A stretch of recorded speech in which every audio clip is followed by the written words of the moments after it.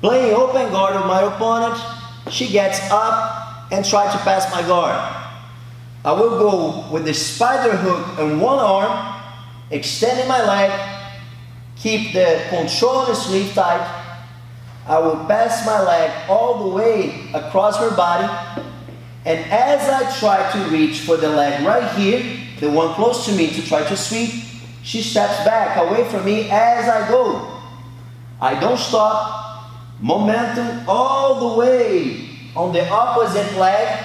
I bring her closer to me with my left leg so I can wrap my right leg around her outside leg. From this position, I will stretch my spider hook again.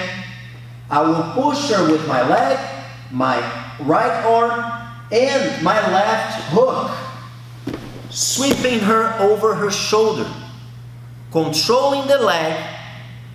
I take off my hook, I keep the pressure with the spider so she cannot get up.